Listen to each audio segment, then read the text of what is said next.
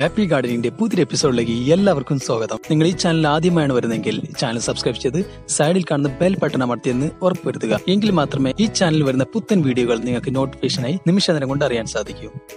നമ്മൾ ഭൂരിഭാഗം പേരും സ്ട്രോബെറി പഴം കണ്ടിട്ടുണ്ടായിരിക്കും. അപ്പോൾ നേരിട്ട് കഴിച്ചിട്ടില്ലെങ്കിൽ പോലും ചിത്രങ്ങളിലൂടെയൊക്കെ നമ്മൾ സ്ട്രോബെറി പഴം കണ്ടിട്ടുണ്ട്. അപ്പോഴൊക്കെ നമ്മുടെ മനസ്സിലൂടെ പോയിരിക്കും ഒരു സ്ട്രോബെറിയുടെ ചെടി നമ്മുടെ വീട്ടിൽ വളർത്തിയിട്ടുണ്ട്. നമുക്ക് കൃഷി ചെയ്ത് കഴിക്കാലോ എന്നൊക്കെ. തീർച്ചയായിട്ടും നമുക്ക് സ്ട്രോബറി വീട്ടിൽ വളർത്തിയെടുക്കാം തീർച്ചയായിട്ടും സ്ട്രോബറി നമ്മുടെ നാട്ടിൽ കായ്ക്കുകയും ചെയ്യും. ഇന്നത്തെ വീഡിയോ മനസ്സിലാക്കാൻ പോകുന്ന സ്ട്രോബറി പഴത്തെക്കുറിച്ചാണ്. അതിന്റെ കൃഷി രീതികളും പിന്നെ അതിന്റെ കെയറും അതിന്റെ മാറ്റി നടൽ കാര്യങ്ങളൊക്കെയാണ് ഇന്നത്തെ വീഡിയോ നമ്മൾ പറയാൻ പോകുന്നത്. അപ്പോൾ നമുക്ക് വീഡിയോ കിടക്കാം. സ്ട്രോബെറി ചെടിയെക്കുറിച്ചൊരു വീഡിയോ ചെയ്യാമോ? സ്ട്രോബെറി ചെടി കൃഷി ചെയ്യുന്നത് എങ്ങനെയാണെന്നൊക്കെ ചോദിച്ചിട്ട് നിരവധി പേരാണ് കമന്റ് ചെയ്യുന്നത്. അതുകൊണ്ടാണ് ഇന്ന് സ്ട്രോബെറിയെ കുറിച്ചൊരു വീഡിയോ ആക്കാന്ന് ഞാൻ വിചാരിച്ചത്. ശരി പറഞ്ഞാൽ ആദ്യ കാലങ്ങളിൽ സ്ട്രോബെറിയൊക്കെ നമ്മുടെ നാട്ടിലൊന്നും വളരില്ല. അതിന് കാരണം സ്ട്രോബെറിക്ക് ഒരു സബ് ട്രോപ്പിക്കൽ പ്ലാന്റ് ആയിട്ടായിരുന്നു കണ്ടിരുന്നത്. എന്ന് വെച്ചാൽ തണുപ്പ് ഇഷ്ടപ്പെടുന്ന ഒരു ചെടി. അപ്പോൾ തണുപ്പ് ഇഷ്ടപ്പെടുന്ന ചെടികളുടെ പ്രത്യേകത എന്താണ്? തണുപ്പ് കിട്ടി കഴിഞ്ഞാൽ മാത്രമേ അത് നന്നായിട്ട് കായ്ക്കുള്ളൂ. പൂവിടുള്ളൂ അപ്പോൾ അങ്ങനെ ഒരു പ്രശ്നം തണുപ്പ് ഇഷ്ടപ്പെടുന്ന സബ് ട്രോപ്പിക്കൽ പ്ലാന്റ്സ് ഉണ്ട് നമ്മുടെ ആപ്പിൾ സബർജിൽ പിന്നെ ഓറഞ്ച് അതൊക്കെ അത്തരം ഒരു ഗണത്തിൽപ്പെട്ട ചെടിയാണ്. അതുപോലെ തന്നെ സ്ട്രോബെറിയും ആ ഒരു രീതിയിൽ കണ്ടിരുന്ന ഒരു ചെടിയാണ്. പക്ഷേ പിന്നീട് പിന്നീട് പുതിയ പുതിയ വെറൈറ്റീസ് വരാൻ തുടങ്ങിയോടി. അത് ഹൈബ്രിഡ് വെറൈറ്റീസ് വരാൻ തുടങ്ങിയോടുകൂടി നമ്മുടെ ഈ ട്രോപ്പിക്കൽ കാലാവസ്ഥ ഇഷ്ടപ്പെടുന്ന സ്ട്രോബെറി വെറൈറ്റീസും വരാൻ തുടങ്ങി. അതോടുകൂടി നമുക്ക് കേരളത്തിൽ അങ്ങോളം ഇങ്ങോളം എവിടെയും വളർത്താൻ പറ്റുന്ന സ്ട്രോബെറി ഇനങ്ങളും വന്നു തുടങ്ങി.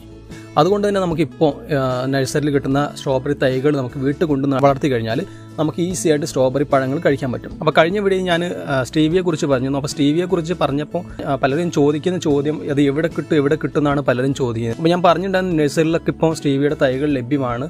അപ്പോൾ നിങ്ങൾ തീർച്ചയായിട്ടും അടുത്തുള്ള നഴ്സറിയിലൊക്കെ അന്വേഷിച്ച് നോക്കുക സ്ട്രോബെറിയുടെ കാര്യത്തിലേക്ക് വരികയാണ്. സ്ട്രോബെറിയുടെ തൈകൾ നമുക്ക് ഇപ്പോൾ എല്ലാ നഴ്സറിയിലും ഉണ്ട്. ഞാൻ ഇന്ന നഴ്സറി എന്നൊന്നും പറഞ്ഞില്ല. എല്ലാ നഴ്സറിയിലും ഇപ്പോൾ സ്ട്രോബെറിയുടെ തൈകൾ നമുക്ക് കിട്ടും.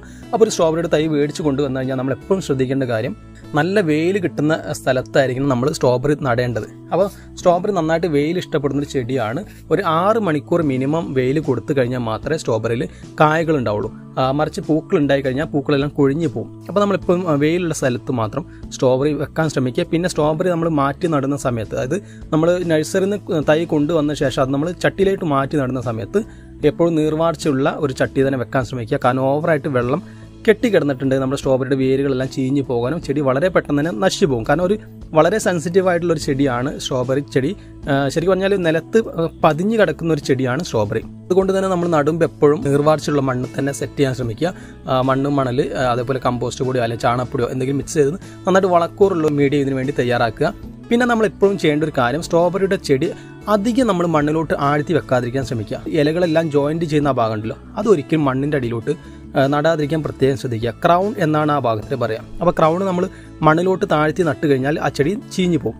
അപ്പോൾ നമ്മൾ ഒരിക്കലും അങ്ങനെ ചെയ്യാതിരിക്കാൻ ശ്രമിക്കുക. നനച്ച ശേഷം ആ ഒരു ആഴ്ച നമ്മൾ യാതൊരു വളവും ചെയ്യാതിരിക്കാൻ പ്രത്യേകം ശ്രദ്ധിക്കേണ്ടതാണ്. കാരണം നേരത്തെ പറഞ്ഞു കഴിഞ്ഞു സ്ട്രോബെറി ഒരു വളരെ സെൻസിറ്റീവ് ആയിട്ടുള്ള ഒരു പ്ലാന്റ് ആണ്.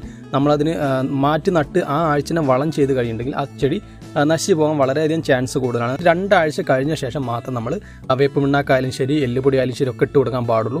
അതിനിടയ്ക്ക് നമ്മൾ യാതൊരു വളം ഇട്ട് കൊടുക്കാതിരിക്കാൻ ശ്രമിക്കുക. അപ്പോൾ നമ്മൾ ചെടി നന്നായിട്ട് സെറ്റ് ചെയ്ത് നമ്മൾ വെയിലത്ത് വെച്ച് എന്നും നനച്ചു കൊടുക്കുക. രാവിലെയും വൈകിട്ട് നനച്ചു കൊടുക്കുന്നത് വളരെ ബെറ്ററാണ് ചട്ടി വരണ്ട് കിടക്കാനുള്ള ഒരു ചാൻസ് വരുത്താൻ പാടില്ല. സ്ട്രോബെറി നട്ടിലെ ചട്ടി വരണ്ട് കഴിഞ്ഞിട്ടുണ്ടെങ്കിൽ പൂക്കൾ ഉണ്ടായി കഴിഞ്ഞാലും ആ പൂക്കൾ പിന്നീട് കായായി മാറാത്ത ഒരു അവസ്ഥ വരും. പിന്നെ നമ്മൾ ശ്രദ്ധിക്കേണ്ട കാര്യം പതിനഞ്ച് ദിവസം കൂടുമ്പം വളം ചെയ്ത് കൊടുക്കുക. നമ്മൾ കപ്പലണ്ടി പിണ്ണാക്ക് പുളിപ്പിച്ച തെളി കിട്ടുന്നുണ്ടെങ്കിൽ അത് സ്പ്രേ ചെയ്ത് കൊടുക്കുക. ഇല്ലെങ്കിൽ നമുക്ക് ചാണകപ്പൊടിയൊക്കെ പതിനഞ്ച് ദിവസം കൂടുമ്പോൾ ഇരുപത് ദിവസം കൂടുമ്പോഴൊക്കെ ഒന്ന് മണ്ണിൽ ഇളക്കി കൊടുക്കുന്നൊക്കെ ഈ കായ ഉണ്ടാവാനൊക്കെ വളരെ നല്ലതാണ്.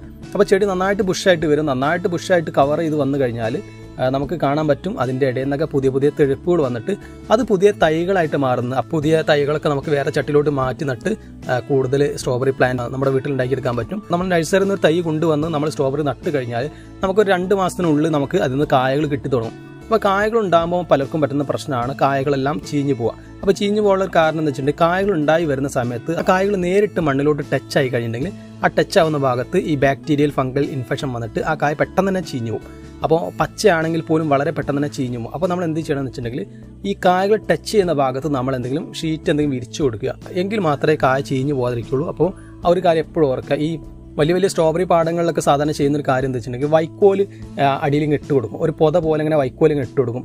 ആ വൈക്കോലോട്ട് കൊടുക്കുമ്പോൾ ഈ കായകൾ ഉണ്ടായി കഴിഞ്ഞാൽ വൈക്കോലിലോട്ട് ചാഞ്ഞ് കിടക്കുന്ന കാരണം മണ്ണുമായിട്ട് ടച്ചില്ലല്ലോ അങ്ങനെയാണ് സാധാരണ ചെയ്യാറ്. നമുക്ക് വൈക്കോലൊന്നും കൊടുക്കേണ്ട ആവശ്യം നമ്മുടെ വീട്ടിൽ കിട്ടുന്ന സാധനം മേടിക്കുന്ന പ്ലാസ്റ്റിക് കവറൊക്കെ ഉണ്ടാവും. ആ പ്ലാസ്റ്റിക് കവറൊക്കെ എടുത്ത് അടിയിൽ വെച്ച് കൊടുത്താൽ മതി. അപ്പോൾ സ്ട്രോബെറിയുടെ പഴം അതിലോട്ട് ചാഞ്ഞ് കിടന്നോളും.